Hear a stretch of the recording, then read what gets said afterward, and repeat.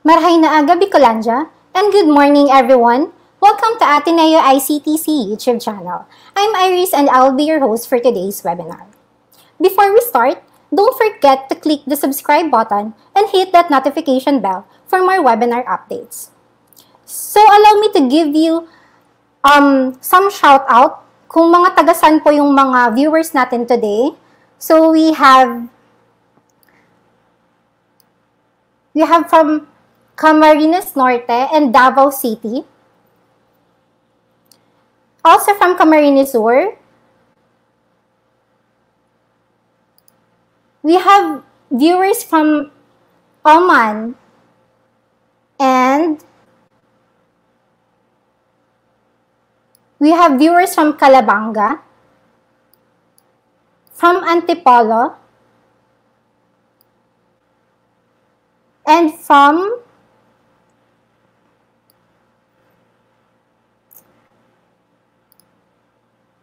Himao Elementary School Division of Camarines Sur. So, yan po. Um, so, thank you very much for, for attending our webinar session this morning. Um, nais po namin magpasalamat sa 100, um, ay, 1,000 sub subscribers na, namin po on our YouTube channel. So, maraming maraming salamat po. So, before we formally start, allow me to read the following guidelines.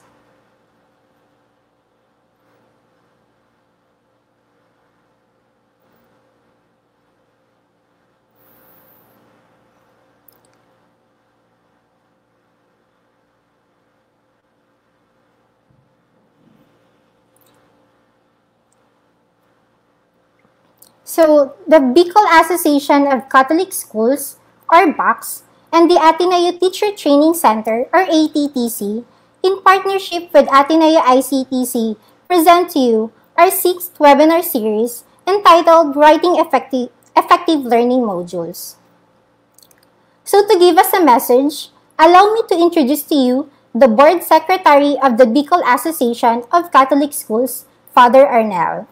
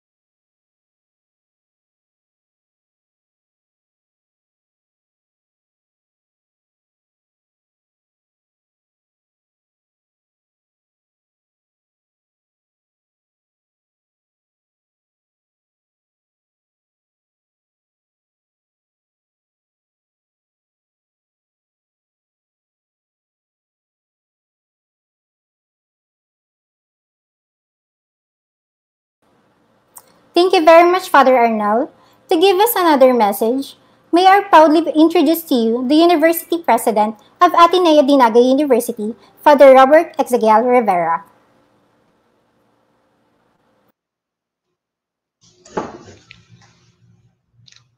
Uh, mga tugang, just marhay na aga sa sa Indo Gabos.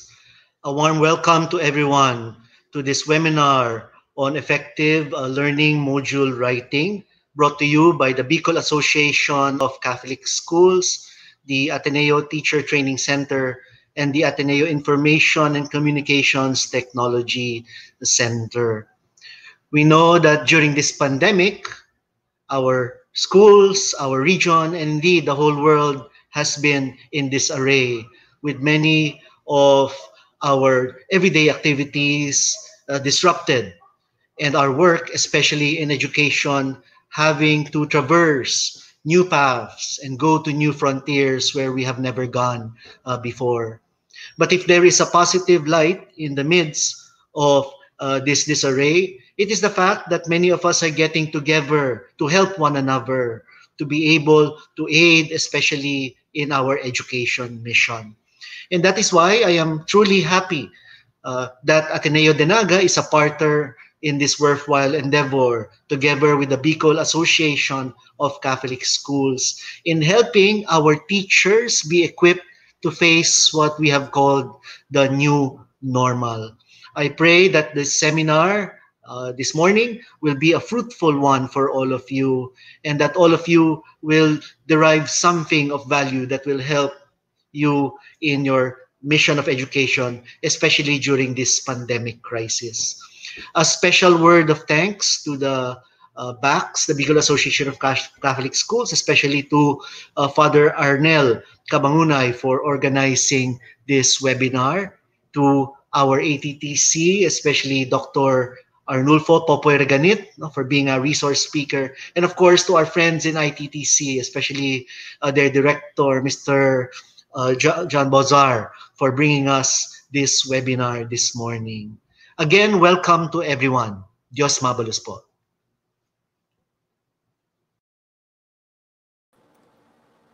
Thank you so much, Father President.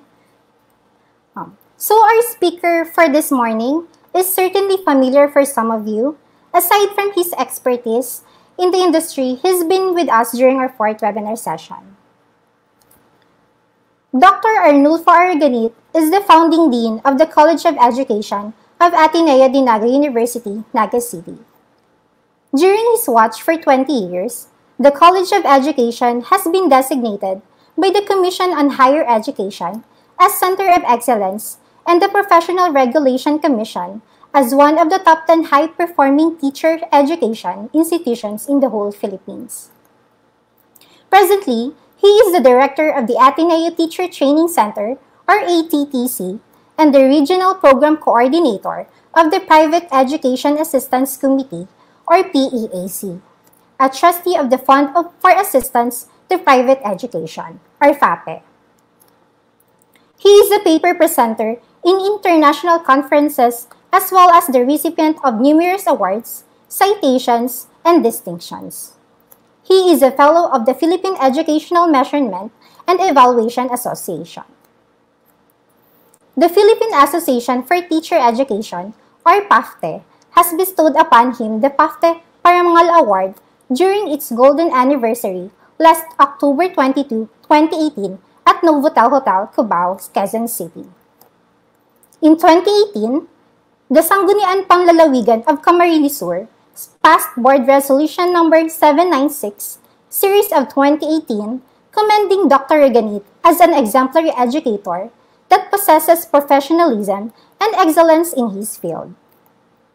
The Sangguniang Panlalawigan highly recognized his wide contributions in the need of quality and excellent educators through the formation and continuing education of teachers in the province of Camarines Sur and in the entire Bicol region. Other awards he received are International Diploma Honor in Education, ABI, Golden Achiever Award in Education, Professorial Chair Award, and Faculty Awards. He has published research in refereed and index journals. Also, he is an author of many books in professional education courses which are widely used in the country.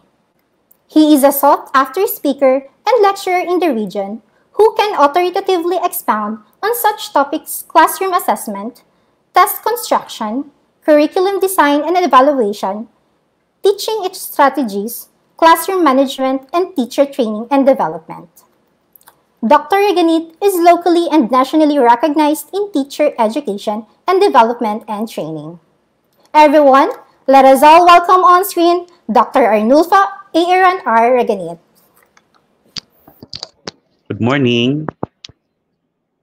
Can you hear me?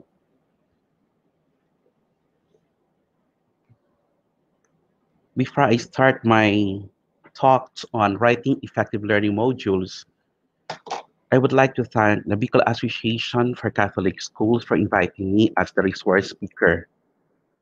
Also, I wish to thank the Ateneo ICTC for hosting this webinar. We will be together for almost two hours on the topic writing effective learning modules.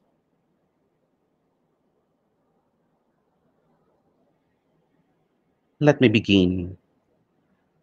As announced by our president, schools will open on August 24, but there will be no face-to-face class. And so in the Department of Education, what will be adopted is blended learning approach. The Commission on Higher Education has, has also done its part in responding to COVID-19 pandemic. Our Secretary of the Department of Education once said, matagal na itong blended education. Naabutan ko ito noong teacher pa ako sa UP. Hindi ito bago. Ginagamit ito sa mga eskwelahan para maging effective ang edukasyon.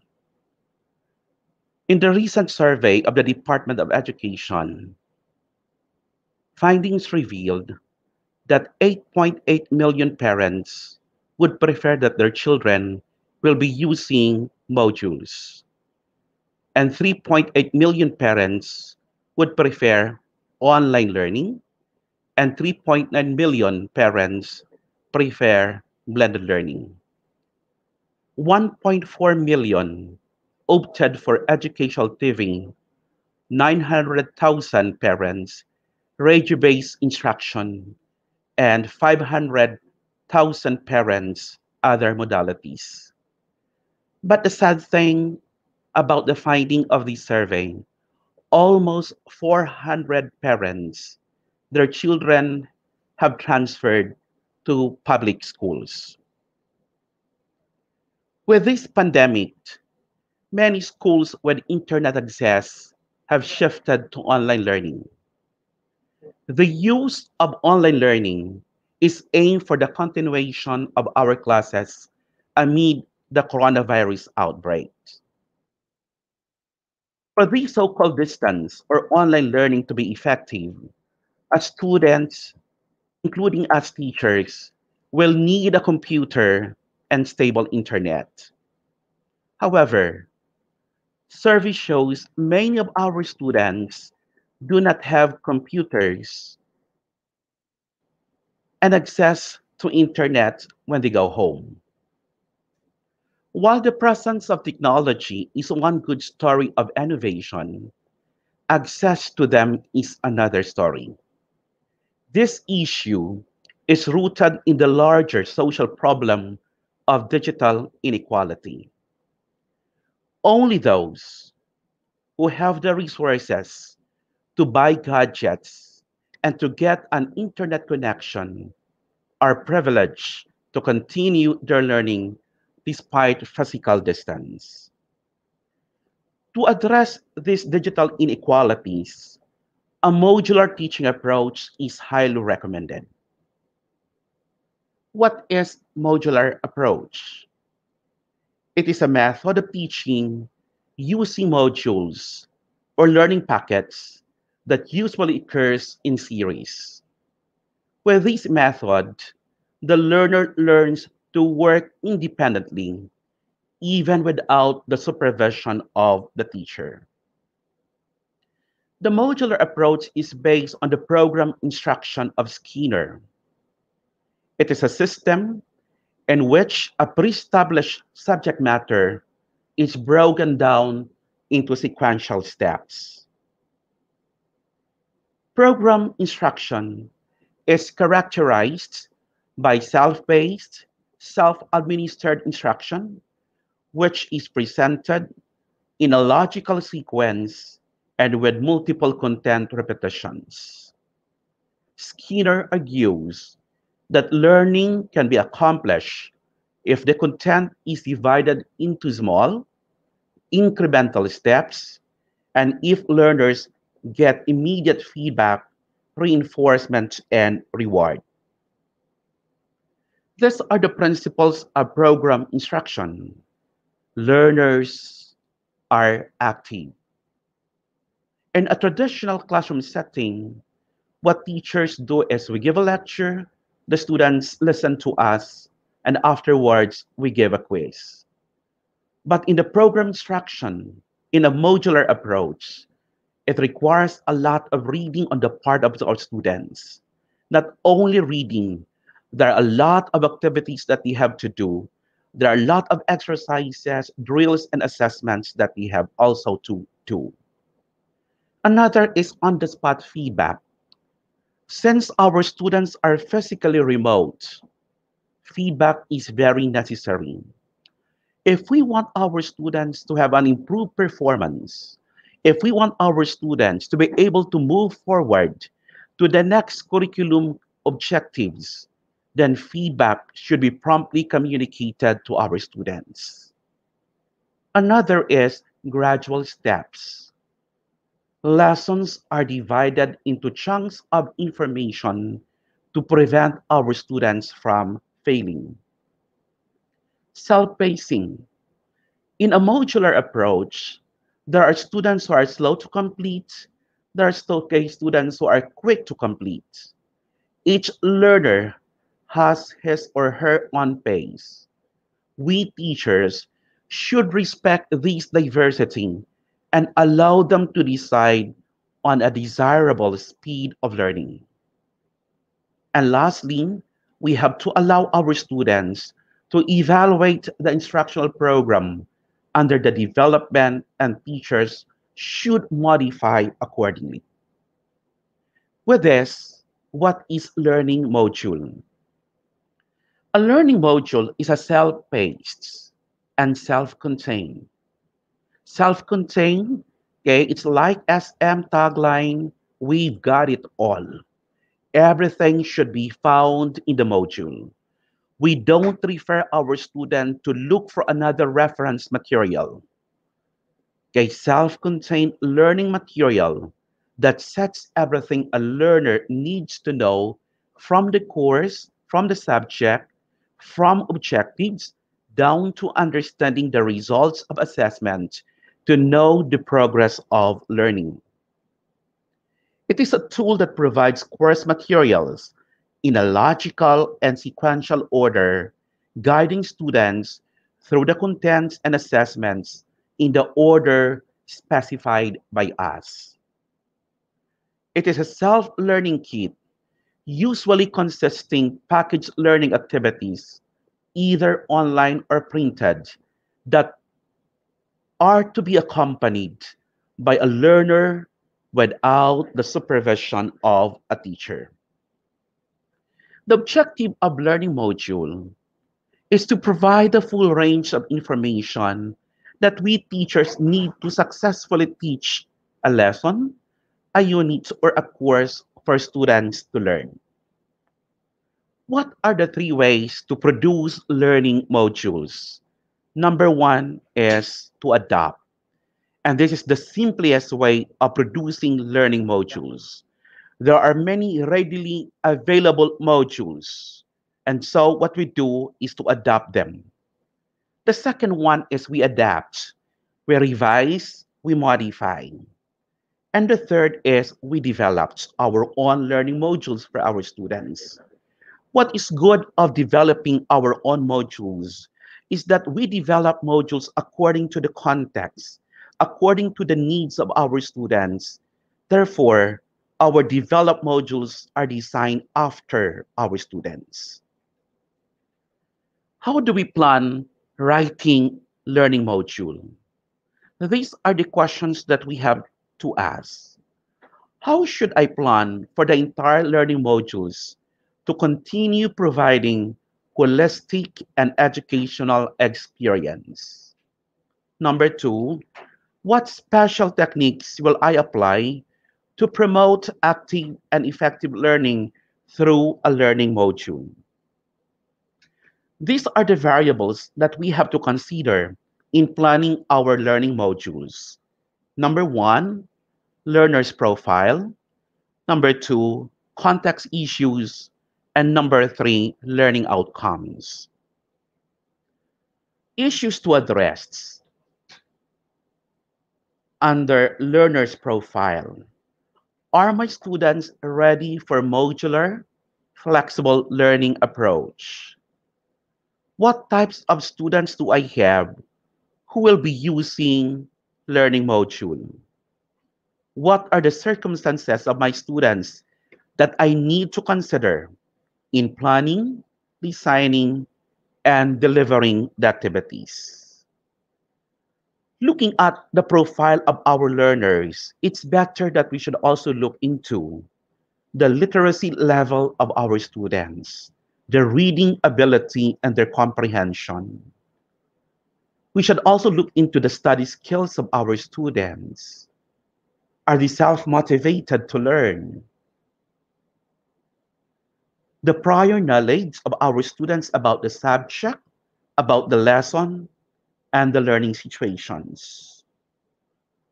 Under context issues, we have to look into the following. Under GCQ, ECQ, MECQ, MGCQ, are our students' family financially surviving? Do their parents have jobs? Do they have learning resources at home? Do they have access to textbooks and other learning materials? Do they have access to library or internet cafe? Do they have access to laboratory equipment? Under learning outcomes, before you start writing your learning module, I advise that we go back to the core syllabus or to the curriculum guide we need to have the following essential information. Subject or course description. What are the learning competencies expected the students to acquire in this particular course and this particular subject? What are the learning outcomes? In college, we have to consider the program learning outcomes, the course learning outcomes, and the instructional learning outcomes. And lastly, we should also into we should also look into the content lists. What are the lessons that should be covered in these learning module? We begin with course specification. This course specification is the most important document produced during the planning of the course since its function is to define what is to produce in a particular course or in a particular subject. I would suggest that before we give our students module one, the first module, the first module should be attached or should we attach this course or subject specification okay, in the first module. The typical contents of our course or subject specification are the following. Course learning outcomes or learning competencies, what are the contents that are covered in this module, learner's profile, assessment details, and then we have delivery costs. Let me give you okay, an example of sample course or subject specification. So we have here course number, okay, semester and the year offered, class schedule, unit credits, and prerequisites. Then these are the most important part of the course specification. Okay, what is the course description? What is the subject all about? Next, the course learning outcomes. Next, the learner's profile and content. Next, we have assessment and evaluation details. Next, we have monitoring details. So this should be the first page of our module, first module. Then we have the course budget. Now, how are the learning modules designed? The learning modules are designed in accordance to the instructional models. There is no standard format for a certain module. There's no such. The way we organize the module, the way we design a module depends on our instructional model. It can be that the instructional model, instructional design, is decided upon by the school, by the teacher, or by our department. The second, the learning modules are subdivided into units, sometimes corresponding to a week's work. In print or printed modules, each unit is like a chapter of a book. Now, since I mentioned that the way we organize, the way we design our learning modules depends on instructional designs or instructional models. Let me present samples of these instructional models. We have the ADDIE model, Assure model, the Gagne events of instruction. We have the Merrill's principles of instruction. We have the Kemp instructional design. We have the five E's. Next, we have the four A's. And then we have the GRR. And then my own instructional design, the Adidas. So briefly, we shall discuss each of these instructional designs. You can choose any of these okay, as your design, okay, as you organize your learning modules. We have the ADDIE okay, model. Okay, and this design will begin with analysis. Okay, so we look into the profile, the context of our students. Next, we design. And then after we design, we developed. Okay, the development of our learning modules will depend on our design. Next, we implement. And at the end, we evaluate. So this is the ADDIE model. The second one, we have the Assure model. We begin with analysis of students' profile, students' context, analyze learners. Then we state our objectives. We select methods, media, and materials. We utilize technology, media, and materials. Then we require our students to participate. And then at the end, we evaluate and we revised. Another instructional model that we may adopt in our learning module is the Gagne nine events of instruction. I understand that in the junior high school of Ateneo de Naga, they use the Gagne events of instruction. Now, in the Gagne nine events of instruction, okay, it begins with gaining attention, then informing the learner of the objectives. Third, stimulating recall of prior knowledge. And then we present our lesson, we present our information, we provide guidance of our students, okay, provide guidance to our students. Then we elicit performance, we provide feedback, we assess performance, and then we enhance retention and transfer. Now, these nine events of instruction are also found in the events in our learning module. Gaining attention, that is through advanced organizer, text preview, or an illustration. Then informing the learner of the objectives, lesson, unit opener, we inform our students in our module the learning competencies, the learning outcomes, then stimulating recall of prior learning that is through by schema building. It can be by a organizer, graphic organizer, a mind organizer, presenting the stimulus material that is our input, that is the lesson proper, providing learning guidance that is through our input, eliciting students' performance that is by means of giving drills and exercises, then assessing performance, that is by means of our assessments, providing feedback to correct misunderstanding, that is by means of our checklist, and then the last, enhancing retention and transfer, and that is true by reinforcement activities and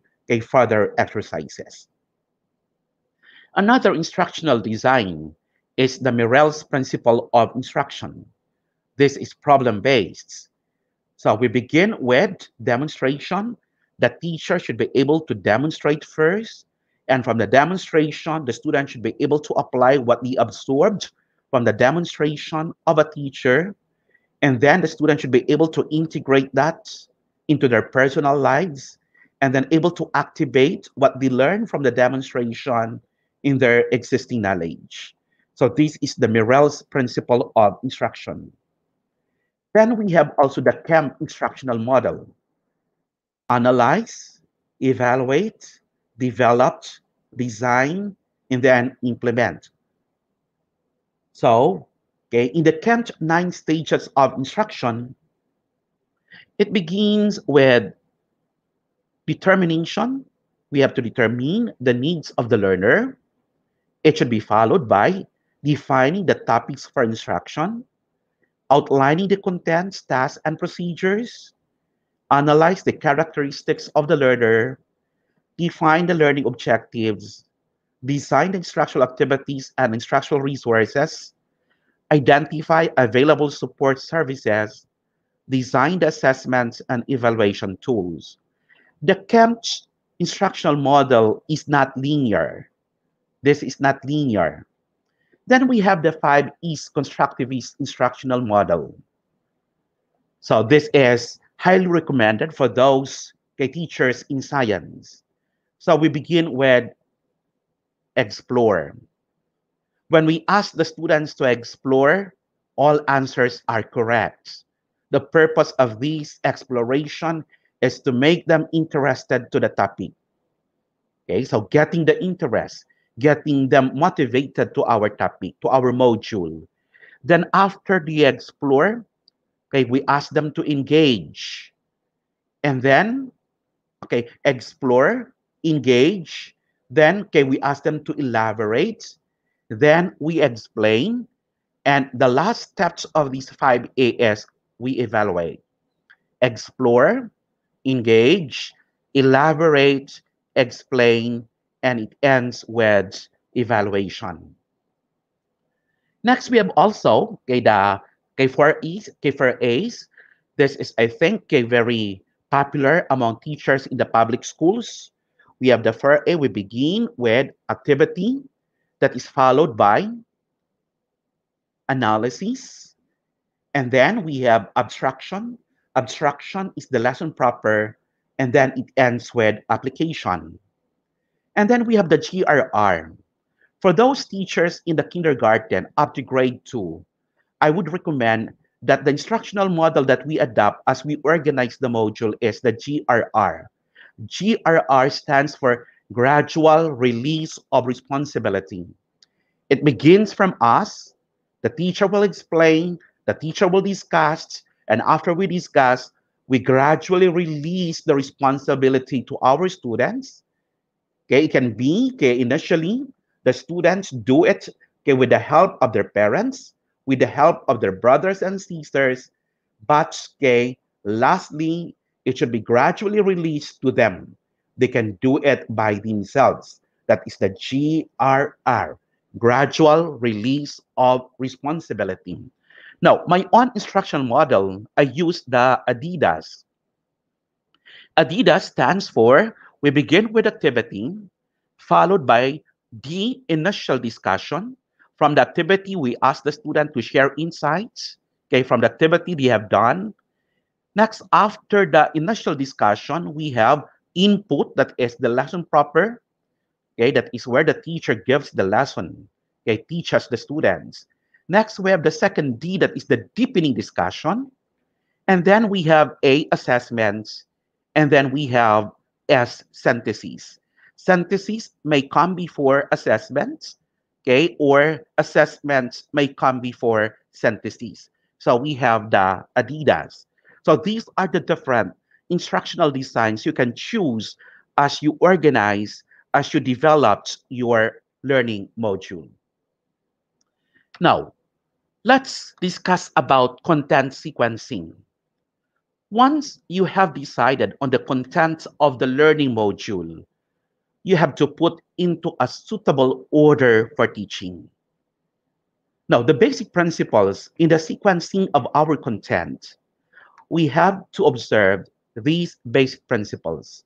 We have to start from simple to complex, from the known to unknown, from the particular to general, from the concrete to abstract. Then we should also consider the pacing of the content. So, okay, the first is identify the contents that we want to include. Okay, in our learning module, we have to observe basic principles. Okay, then we have how do we pace the content? We have these one release of materials. Gradually release, gradually introduce the lessons to our students. Hindi yung biglaan. So gradually release the learning materials. Gradually introduce the lessons. Right pacing. Next, deadlines for the completion of the modules. Okay, when do we expect our students to complete the modules? Then proactive interventions. Researchers have proven that pacing helps students complete the subject or the course. Pacing leads to higher completion rates and distance or flexible learning, according to Lim in 2016. Next, providing study guides. Study guides are devices to help learners orient themselves to a new subject, to a new course, and learn how to use it. It acts as reference sources for use when learners have a problem with their course or with their subject. This is an essential component of distance learning like module or modular approach to help the learner succeeds. How do we structure a module? So these are, these are issues that we need to address. How should I structure my printed module? How should I organize the contents of a module? The answer to these questions organize according to the chosen instructional model, instructional design, which I presented earlier. It's up to you to choose any of those eight or nine instructional designs or instructional models. Now, how do we organize? How do we write a learning module. When we write a learning module, we always begin with course mapping. So we organize, we outline a learning module by contents, if not by contents, according to the learning competencies or according to the learning outcomes. So the way, the way we organize our learning modules Okay, it can be by contents, by learning competencies, and outcomes. Next, number two, we now proceed to module mapped. Which of these contents, which of these activities and assessments will be included in these particular contents or particular contents, competencies, and learning outcomes. Next, we now create a module in making, writing a learning module, make students aware of the outcome and the final requirements. Contents that need to be learned are readily available in the module. That is why our definition earlier of a learning module, it is a self-paced and self-contained. Everything is already found in the module we don't refer our students to look for another reference material for them to be able to learn, to be able to do activities, and to be able for them okay, to work for exercises and drills. The presentation needs to be interactive. The students should be able to answer exercises, drills, and assessments, and students accomplish tasks while studying the module. The flow of the module. The flow of the module content is that simply presenting the content, but it should facilitate the learning of content. I always tell my teachers that in a module, we ask ourselves, how do I teach these lessons if I am in the classroom? Can we put that in our module? Can we put that in our module? We are putting our results in a paper, and that is a learning module. If I give you this topic, okay, how would you teach this in class? So the learning module is not a simple presentation of lesson of content, but very important that we have to be mindful that our learning modules should facilitate the learning of our students through the contents. We have to stop at certain point to check the understanding of our students. We should allow our student to stop at certain points to try some exercises. We engage in tasks such as observations and reporting, writing learners' insights. Okay, we ask them to stop at certain points to reflect on one's learning. Okay, we allow our students to compare their initial idea and changes it. Okay, after reading, after completing okay, our learning module. Make the module easy to use. Make it very friendly to our students. The sequence is like walking through the actual lesson in the classroom. All information for one module or learning competency, learning outcome does not require students to go out from the present module. They self-contained. Everything is already found in the module. Contents can be easily read immediately without looking okay, okay, for many books other reference materials, or downloading too many files. Make the module appealing and captivating. Appeal makes the learners engage in studying the contents. Present the information using both pictures and words or infographics. Make a good layout with visual icons for each part of the module as much as possible, okay, if the school allows, okay, better if okay, some okay, icons, some pictures are colored. But the problem is that will be too expensive for printing of our learning modules. Number seven, we have to research our topic. Even if we are subject matter expert, okay, it is better that we ensure that getting the latest updates on the information. Keep the learning modules not too long to keep learning interesting. So break long modules into a series of short modules. Make your introduction clear. Okay. Okay. So, so sometimes we call it about the module. Okay. Overview of the module. Make it clear because the introduction sets the stage for everything that follows. It establishes the contents, okay, the context for your students.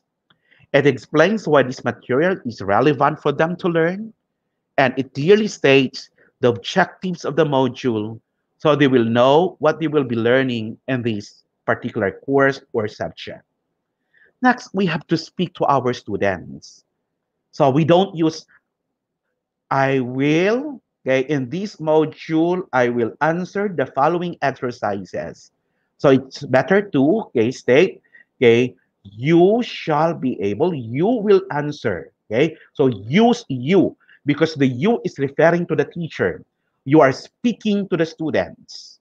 I have corrected one school, it's because okay, they were instructed to use I, but I said you use you because the you represents the teacher.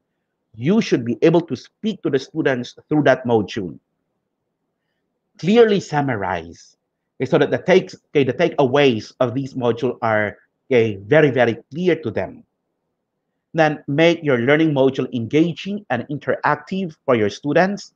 And most importantly, bring some fun into the learning. Now, what are the qualities of a good learning module? One, clear organization of content, sequencing of contents or tasks, completeness or adequacy, variety, inclusivity, and then we have readability. So these are the qualities of a good learning printed module. Clear organization of content, the way we sequence the contents and the tasks. Everything is there, complete, adequate, all information, all lessons that you want the students to learn are already okay, presented in the module. Okay, varied okay, in terms of activities. Activities, assessment, drills are varied. Okay, icons are varied. Next, we have inclusive, it should be fair. Then readability. Now, clear organization of content. As I mentioned earlier, the way we organize our learning modules depends on the instructional designs. The instructional designs I presented to you are all student-centered. The way you organize the contents of your module will reflect your philosophical orientation. Are you teacher-centered or are you student-centered? In a school, I went for a workshop on module development. When I asked the teacher to present their module for critiquing, sa activity pa lang, ang comment ko, kay can students do the activity without the input of a teacher. I think it would be hard for the student to do that activity without the input of a teacher. And therefore, the way you organize the contents in your learning module is teacher-centered, but not student-centered. Next, sequencing contents and tasks. Once we have decided on the contents of the learning module, we have to put it into a suitable order for teaching. I think I have already mentioned on how we sequence. Very important. A gradual release of materials.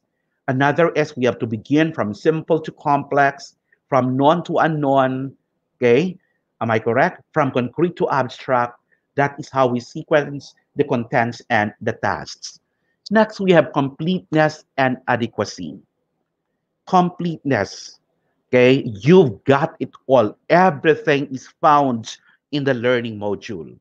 Okay, wala nang hahanapin ang mga estudyante natin. Okay, you don't need to refer them to another book. You don't need the students to open another window for them to be able to answer. Okay, for them to be able to perform exercises. Okay, and drills. Completeness refers to the extent to which materials supply the learner with information and support needed to achieve an instructional goal. This will depend on the chosen instructional model or instructional design. So another is there should be variety. Our activities are varied. Our drills are varied. Our exercises are varied. Our assessments are varied. Now, to make all of these activities, drills, exercises, assessments varied, I suggest that okay, we use the Dale's cone of experience. According to Dale, if we ask the students simply to read, like for instance, if most of our learning modules, the activity is always read, read, read, read, and read. Okay, can we have another learning module? The activity is another, not reading, but instead, okay, we ask the student to observe. Another is to ask the students to listen. Then we ask the student to okay, observe and to listen. And then we ask the student to tell, to write. And then we ask the student to do it by themselves. So activities must be varied. Likewise, in our drills, exercises, and assessments, using the Dale's cone of experience, okay, we can ask perhaps on the first module, define, list down, describe, explain. And then okay, we can ask the students in the next module, demonstrate, apply, practice, and then another module, analyze, design, create, and evaluate. Okay, we have to be varied okay, in our activities, drills, exercises, and assessments okay, for our students to make learning very exciting, okay, to make our learning much fun for our students. Next, we have readability. Okay, explain difficult ideas. Okay, simple words are better. Explain difficult ideas as simply as possible and assist our students to integrate new knowledge into their own personal knowledge structure. And this is what we call integration. What they learn from our learning module should be integrated into their personal lives. So, okay, readability, we have to avoid word jargon. Now, if it is unavoidable for us, these word jargon, like for instance, in science, there are technical terms, okay, jargons, then I would suggest if we can also attach word or glossary. Now, can we attach a glossary? Okay, so readability. Next, inclusivity. Okay, activities must be performed by all, not only by few. No one is left behind. Okay, no one, no student is left behind. It's because of that particular activity. Like for instance, in our learning module, our activity is open this website and watch this video. The problem of that activity, how about those without internet connection? Is the activity inclusive? All students can do the activities, exercises, drills, and assessment. Okay, so those are the qualities of a good learning module. Let me repeat. Uh, we have these characteristics.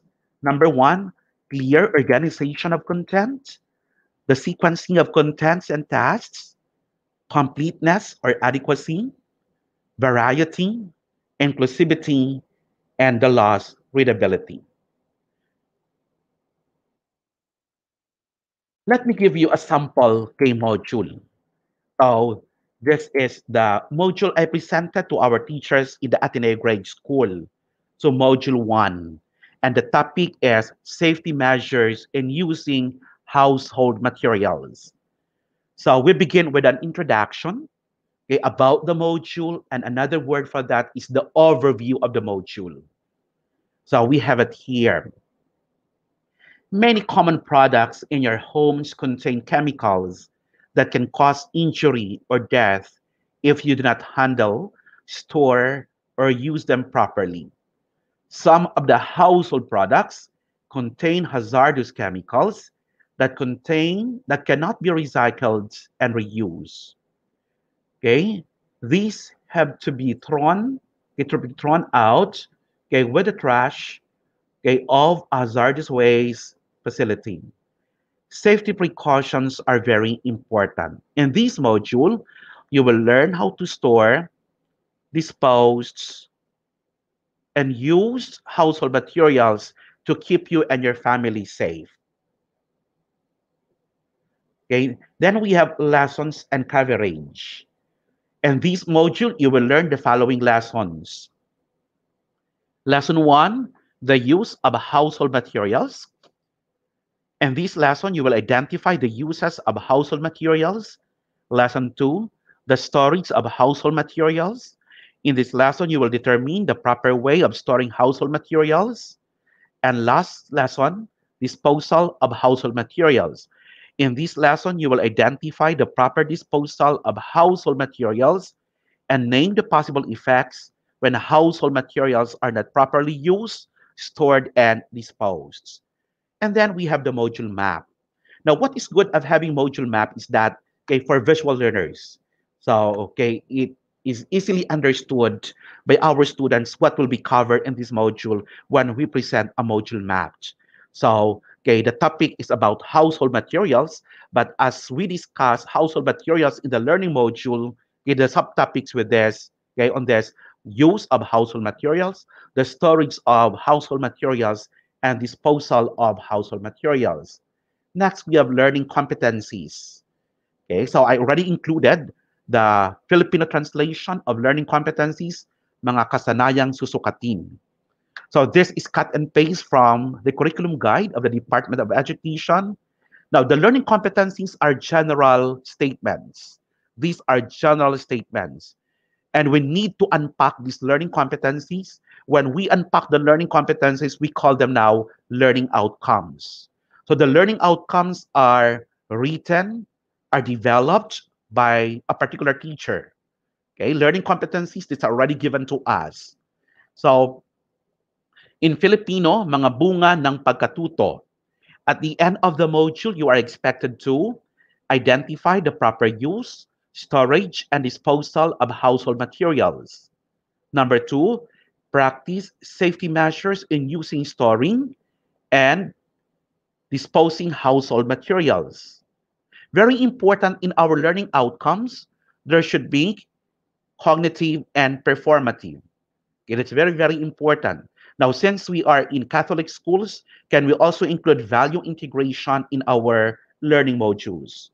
Now, expected skills, inaasahang kasanayan. So we have it here. We have eight. Obtain a better understanding of the use, storage, and disposal of household materials. Practice the proper ways of using, storing, and disposing household materials. Carefully read the reading, carefully read the module and do the activities neatly and accurately.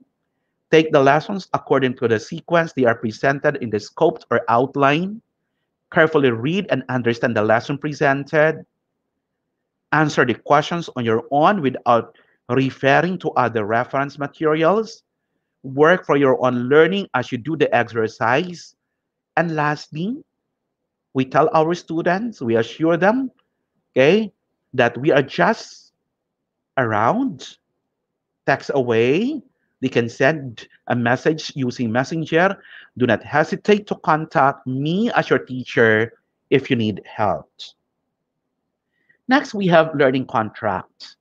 Now, what is good of including learning contract in our learning module is that we want our students to own their own learning.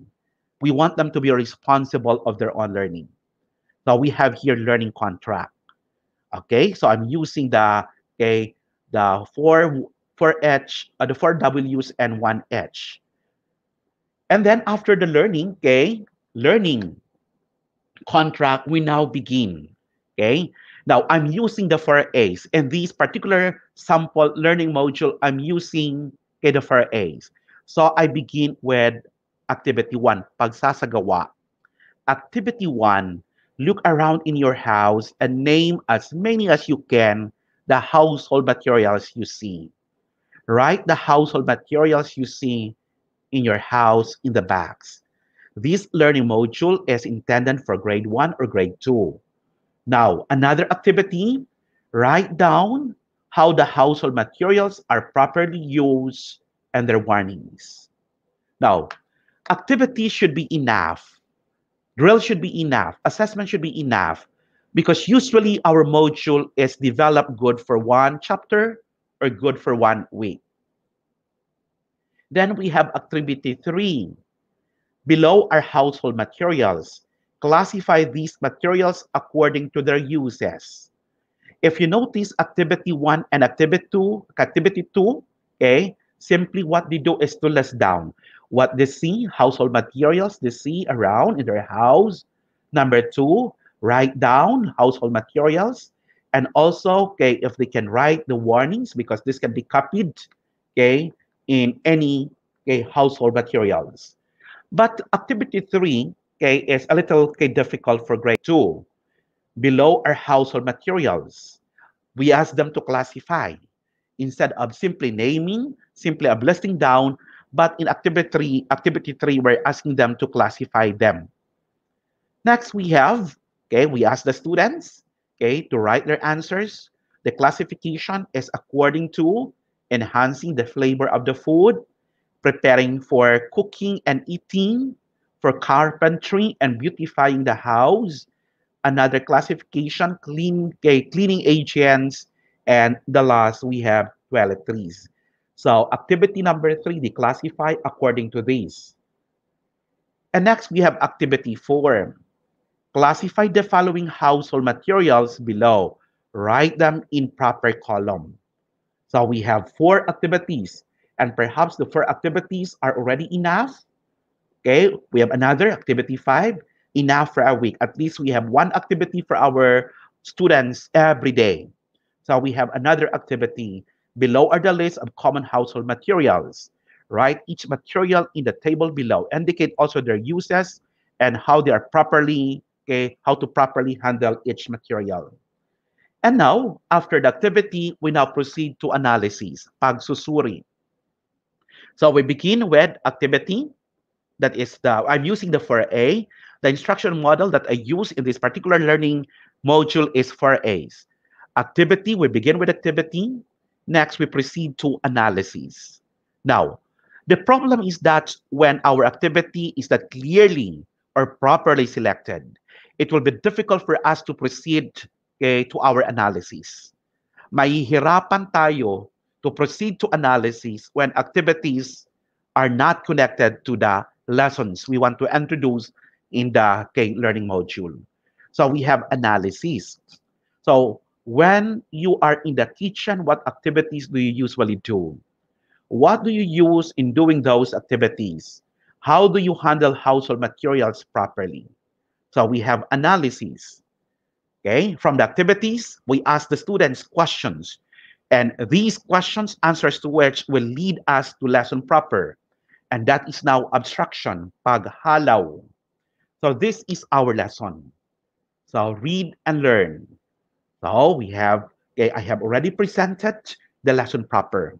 If you notice, there are pictures, and the pictures are okay, placed in different okay, parts of the module. So these are colored. Ideally for kinder up to grade three, okay, pictures are in color. However, since okay, making them colored, that will entail a lot of expenses in the printing. So we have now abstraction. This is the lesson proper. Now, so we are done with activity. We are done with analysis. Okay, I am presenting to you now the abstraction. And then after abstraction, we have now application. We have now application. So we have exercise one, we have exercise two, we have assessment. So in the application, we have exercise one and we have exercise two. As much as possible in our application, okay, we have to avoid of giving quizzes.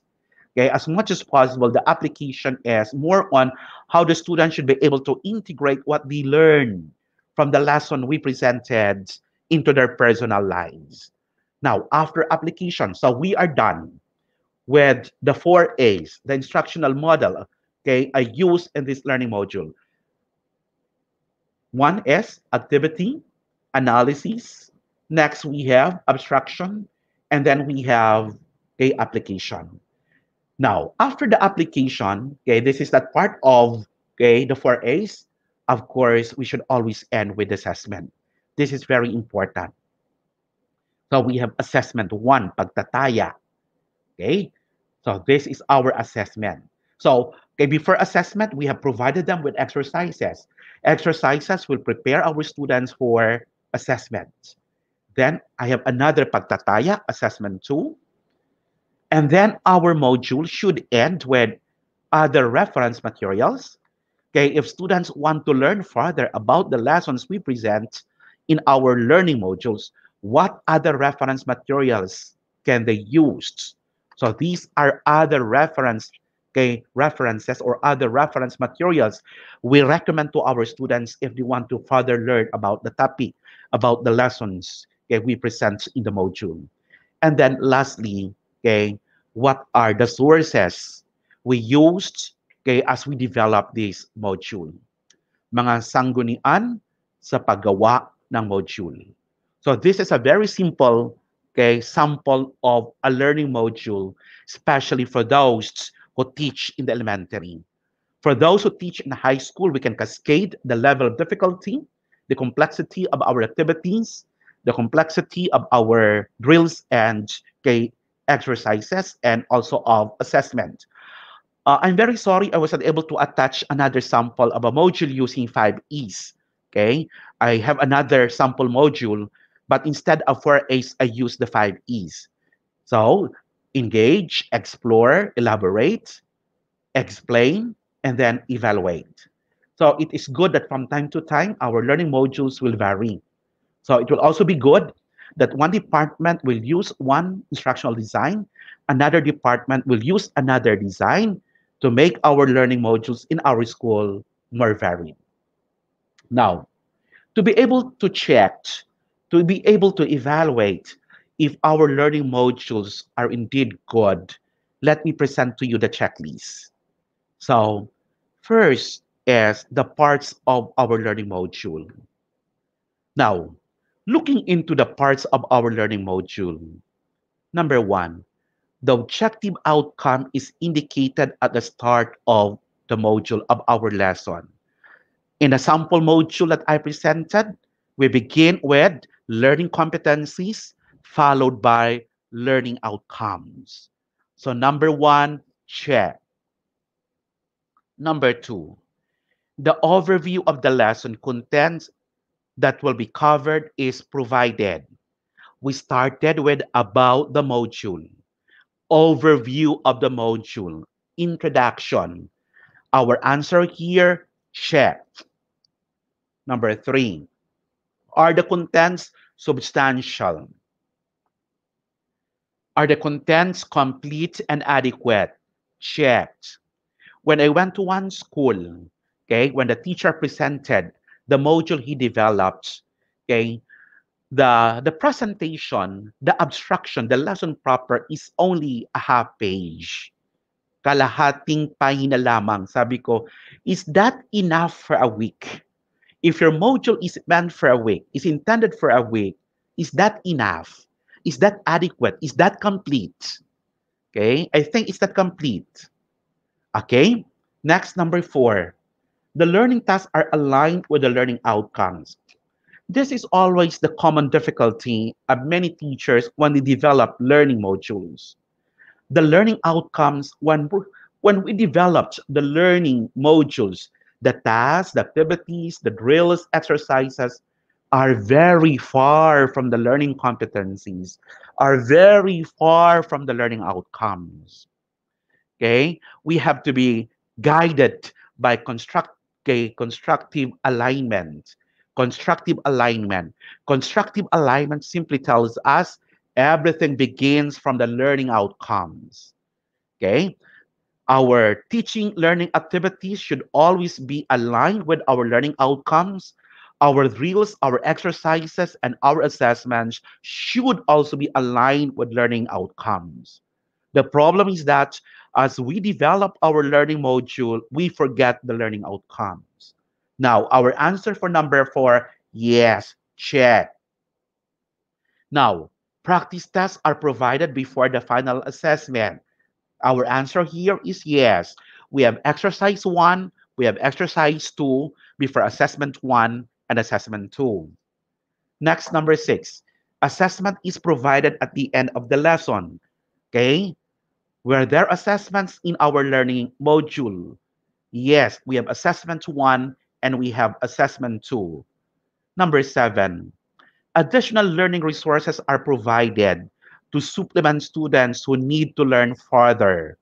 Okay, towards the end of our learning module, we have other reference materials. We refer our students, if you want to learn further about the lessons covered in this module, Okay, these are other reference materials. So our answer for number seven, yes, this is found in our sample okay, learning module check. So we are done with our checklist with regard to our okay, to the part of learning module. Now we proceed to the appearance of our learning module. The appearance should be appealing. The appearance should be captivating to our learners. Number one, there are various representations of the contents, textual images, textual images, infographics, okay, visual icons. There is, okay, there are pictures, there are images, Okay, the font also varies. Okay, font should be it should also vary. If this is a major topic, it can be bold, or perhaps the font number is bigger. Okay, the font is bigger. But if this is a subtopic of a major topic, the font will also vary. Okay, the font size will also vary. Okay, next, the flow of the content from the initial activity to the last part are all found on the same page. Okay, okay, dapat kay lahat kay it should be found on the same page. Next, the graphics and images are relevant to the focus of the lesson. Okay, the graphics, the images are well chosen. Okay, okay, the graphics, the inform uh, the, the images, the pictures are very appropriate to the lessons okay, presented in our learning module. The length of the lesson, because okay, we said that our learning module should not be too long to, cap- to capture the interest of our learners. The length of the lesson is appropriate to the learner. Okay, it should only be enough. It should not be too too short or too long. Okay, appropriate okay, to our learners. And then lastly, as we mentioned, okay, our learning module is not only a presentation of contents. Learning module is not a simple handout. Learning module should facilitate learning. That is why earlier I said, you ask yourself, if you teach these lessons in class or in the classroom, how would you teach these, okay, in the classroom? Then put that in the learning module. Okay, it should elicit learning. So, number one, prompts or activities are provided to obtain immediate response from the learners. We have activity one, activity two, three, four, and five. For a week, every day, the student has to do something. Activity one, perhaps on Monday. Activity two for Tuesday, Wednesday, three, four, Thursday, and five on Friday. But since a learning module, the module approach is self-paced, the students may answer activity one, two, and three. It's up to them. Okay, next, several exercises are provided. We have a lot of exercises. Final assessment is aligned with the learning outcome. We have two assignments. The lesson contains questions that elicit critical thinking. Okay, so uh, very important that in our activities, in our exercises and assessments, we have to be mindful that okay, we should be able to ask questions that elicit higher order thinking skills. That is why okay, we should also be varied in terms of asking questions. Hindi lang, list down, name, identify, hindi ganon. Okay, why don't we ask create, demonstrate, explain, analyze, infer, hypothesize. Oo. Okay. Next, there are assessments that are performance based. Okay. So we have to include, if you notice in our sample learning module, the first assessment is pen and paper, it's written. However, the second is performance based. Performance based okay, assessments Okay, it is a performance based when the question elicits many possible answer. When there's no one correct answer, okay, that is performance based. However, if our question elicits only one correct answer, then that is a written test. So our first assessment is written tests. There are one correct answer, or there's only one correct answer in each of those questions. But the second assessment is a performance-based assessment because there are many possible answers to the questions. So, okay, we continue now. Eliciting, okay, learning. Activities are designed where learners have the opportunity to collaborate, even if they are physically, okay, remote. They can collaborate with their with their classmates through texting, through messaging, Okay, so there are ways on how we can encourage our students to collaborate even they are physically remote. The sequence of the contents is logical and sequential. The release of materials is gradual, right pacing. I think I have mentioned this one. The release of materials, gradual, Okay, the right pacing. The lesson helps learners process information before the face-to-face session okay, comes. So if the government allows face-to-face session, perhaps in January or February, we don't need to reteach the lessons covered in the okay, in the learning modules.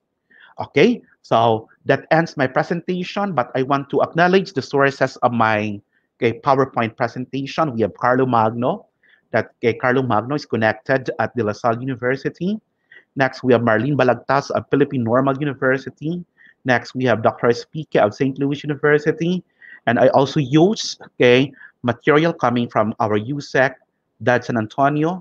Next, we have okay, Dr. Suarez of Ateneo de Manila, and I also use the sites from the internet.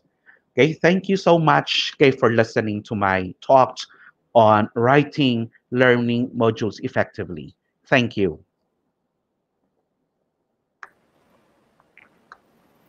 Thank you very much, Doc Popoy, for the very enlightening discussion you've shared with us today. And I believe our viewers have something to ask you, but before that, we'll be having a short break. May break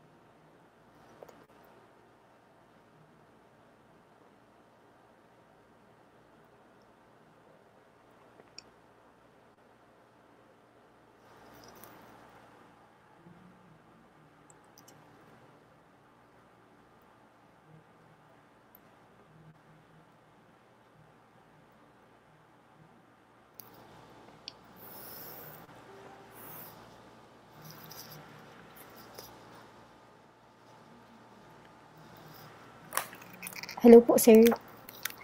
Po. EU po, recorded kay yan, sir. Tas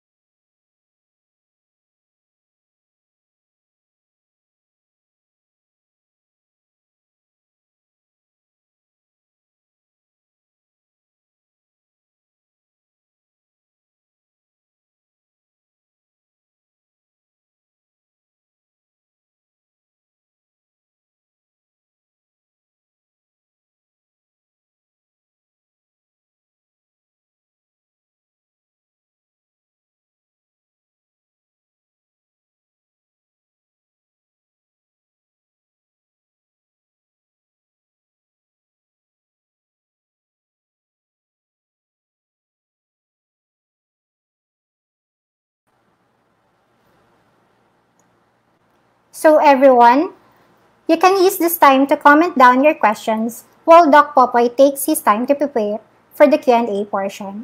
We will entertain some interesting questions that needs clarification later. So yung may mga questions po, um, mag-comment na lang po kayo and um, pipili po kami ng mga four questions po na ifa-flash screen na sasagutin po ni Doc Popoy mamaya.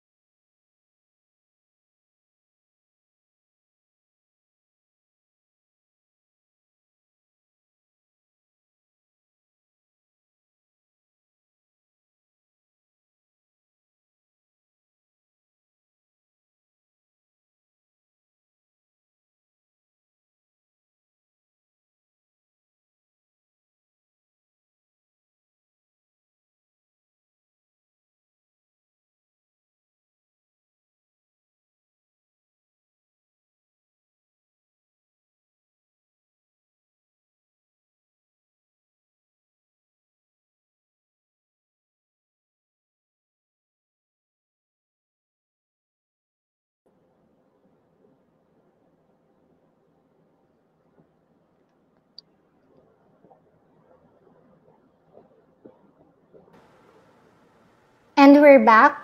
We will now have our Q&A portion with Doc Popoy. So, Doc, Doc Popoy, we have question from Aero Ayla.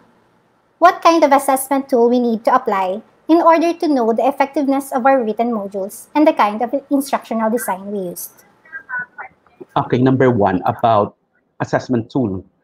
The assessment tool will depend on our learning outcomes. It will depend on our learning outcomes. And therefore, our learning module is effective if the learning outcomes are attained through our assessment. But I would suggest that our assessment should always include written and the other one is performance based. There should always be written and there should always be performance based assessment. Although I highly recommend that since today we are migrating into flexible learning, as much as possible, if we can also migrate into process-oriented assessment, process-oriented assessment, as we adjust the instructional delivery, instructional modality, assessment should also adjust. By doing so, our assessment in the classroom will matter so much. So we need to adjust our, our assessment. So I'm always telling to everyone that we have to adapt the process-oriented assessment but the problem is that we are not familiar with process-oriented assessment. But okay, okay, for, for the meantime, okay, in a module, okay, learning module, I suggest that there should be written and there should be performance-based assessment. Now, as to the instructional design, it depends on your familiarity. Okay, saan ba yung comfort mo? Saan ba yung comfort mo? Like for instance, for me, my comfort is more into okay, 4As and 5Es. Okay, I'm more comfortable of designing a learning module using the 5Es and the 4As. And also it depends upon the grade level. I mentioned earlier that I would suggest from kinder up to grade 3 if we can use the GRR, the gradual release of responsibility. Because when we teach in the kinder, it always begins from us teacher.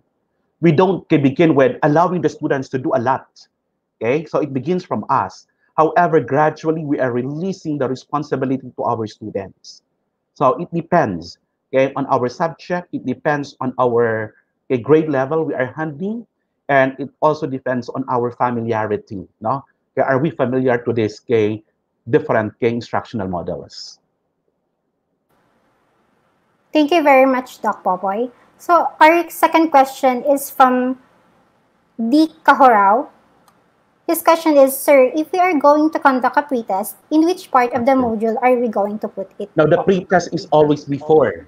Okay, it's always before okay, the, the first part of the instructional model. So we have, okay, like for instance, in my sample learning module, okay, it begins with about the module and then followed by learning competencies, learning outcomes, and then we have the learning contract, expected skills, and then we have the lesson map, Am I correct? Then after the lesson map, then you present your pre-tests. Okay, that is before you start okay, the, the design, the instructional design that you want to adapt.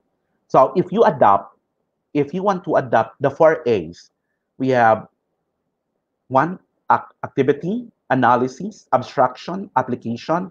So the pre-test should be presented before activity, before activity and the post-test should be presented before okay, the final assessment. Before the final assessment. Okay? Thank, thank you very much, Doc Popoy. So our third question is from Noe Ombao. His question is, during the teaching learning process used in the face-to-face -face in previous years, there is still a good number of failures. How can we address this? That is why I mentioned that feedback is very, very important here. I think this is really the problem of modular or flexible learning. It's because even in the classroom, when we had a face-to-face, a lot of students failing, a lot of students not able to catch up with our lessons. Okay, immediate feedback is very, very important. I even suggest that to many schools I've been to, that can we can we give to our students our cell phone number?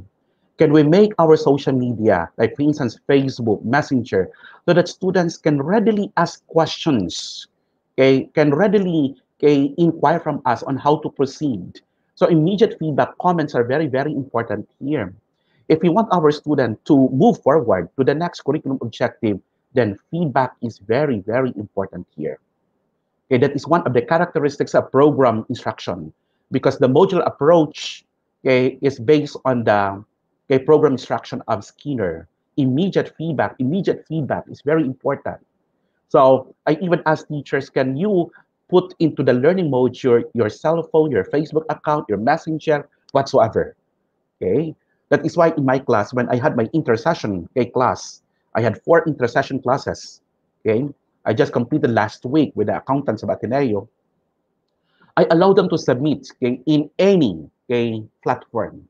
If you want to comment, if you want to ask questions, send it through my Facebook or perhaps in the Google okay, Classroom or in the okay, Gmail okay, account. Okay, you can text me. It's up to you. No, just inform me ahead that okay, your comment, your questions, your queries about the topic are sent through okay, text, messenger, and so forth. So the secret here is to avoid okay, a big number of failures is feedback. Okay, feedback. Uh, that is why I'm very happy in Ateneo de Naga now. Okay, from 7 o'clock, okay, from the very beginning, early in the morning, the Facebook, am I correct, is open until. Unlike before, we were only allowed to open our Facebook account during lunch break. And this is making available okay, for students who have questions about our lessons in the module. Promptly Thank and you very clearly communicate the feedback. Thank you very much, Doc Popoy. So our fourth question is from Miss John Concepcion Alejo. Her question is, will a performance-based quarterly assessment be okay as compared to written assessment for QA? Now, um, when we had our webinar last week on portfolio assessment, you know, okay, my introduction in that webinar okay, is because of my conversation with our USEC secretary. And okay, according to USEC secretary, because I was okay, recommending, I was suggesting that okay, our assessment should be more process-oriented rather than product, because the problem of product-oriented assessment is we do not know who works for the product. The problem of pen and paper is that we do not know who answers the questions. Or perhaps as the student answer the periodical examinations, the students are assisted by parents or a tutor or anyone for them to write the answers. And so, okay, I am really into process-oriented no, assessment. Now, um, the performance-based assessment will really answer about the integrity of our tests, the integrity okay, of our tests. The problem of written tests is the integrity of tests. The results are highly questionable, are highly questionable. Okay, so that's the problem of written tests because written tests, the definition of written test, when there's only one correct answer, that is written test. Even essay question, if the essay question requires only one correct answer, it cannot be performance-based, but it is written test. But if the essay question elicits many possible answer, then that is performance. Now, in the process-oriented assessment, okay, we ask the students to draft. Okay, there's a draft paper, and then we ask them, okay, submit the draft, the unpolished key work of our students, okay, that is submitted to us. We comment on the unpolished key paper of our student. Then we return with our comments. We ask them to improve it, and then they submit to us the polished paper. And then we look at the improvement of our students from the unpolished to polished. Now, it's up to you on how to grade it. Perhaps okay, you give 50% okay, for the final product and 50% okay, more on the improvement of our students from unpolished to polished okay, work. Thank you so much, Doc Popoy. So our last question is from Fielo Carlos Salcedo. In a performance-based module, is it always necessary to give performance tasks? How many PTs should be Now, given? uh, as I suggested, you know, okay, we should always include performance okay, tasks in our module. And that is to allow our students to be more interactive and to make our learning module okay, very interesting for them. If our activities, our drills, and our exercises are always written, written, written, written, there is no variety. Okay, there is no variety. In fact, I even mentioned that can we allow our students to collaborate? Even they are physically remote, we allow them to collaborate. Our students are very creative of finding ways to collaborate with their classmates. So there should be written and there should always be performance based. Performance based. Now, as to the number of performance tasks, I think the best that can answer that is no other than our teachers. It should only be enough, considering that our students are also enrolled in other subjects. If we give them too many performance tasks, okay, I think they cannot complete okay, all of these in just a week. We have to consider, I always suggest to many schools, can we schedule okay, the performance tasks of our students? Perhaps MWF will only be for math, science, and English, and the TTS for other subjects. If every day, every subject there is a performance test, I pity so much our students. Okay, I pity so much. So we have to consider this. I would suggest, my dear beloved teachers, that in this difficult time and this trying time, teachers should not be so much into standardized, but rather it should be more of compassion. And very important in the flexible learning that our presence is felt by our students. Okay, we practice the humanized education. Humanized education simply means, okay, I can relate with you. Okay, I understand your situation. I understand your predicament. However, I want you to be responsible of your learning. Okay, so this is my advice okay, as we migrate into flexible learning. So enough is enough. Okay, we have to be mindful that our students are also given performance tasks in other subjects. It's a matter of scheduling of performance tasks of different subjects okay, by the school. Imagine if the students are enrolled in eight subjects and each of these eight subjects give the students performance tests every day, that is too much. That is too much. Okay. Thank you very much, Doc Popoy, for answering all those questions. So that ends our Q&A portion.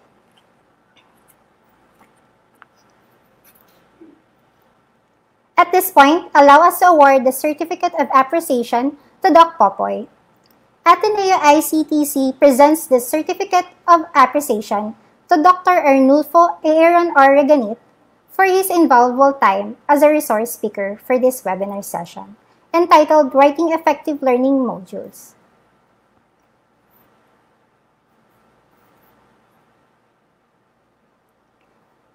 Thank you very much, Doc Popoy. Salamat po. Welcome. Until po. next time po. Salamat po. Welcome, welcome. Okay. Perhaps we can have on process-oriented assessment because Yes, this is the difficulty of many teachers to migrate from pen and paper. Okay, yung process-oriented sure. assessment. Okay, thank you. Thank you very much, Doc Popoy.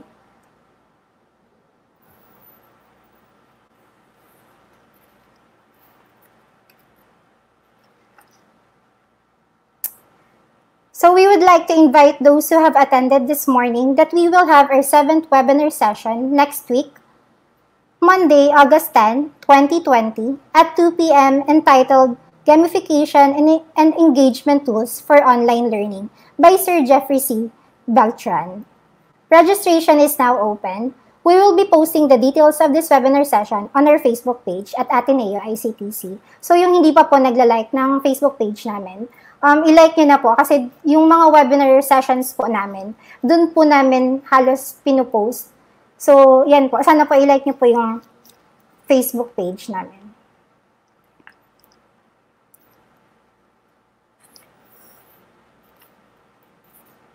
So also we would like to thank our viewers for staying with us throughout the session. So your certificates are ready. Kindly accomplish the online evaluation flash on screen. The online evaluation will be closing at 5 p.m. this afternoon.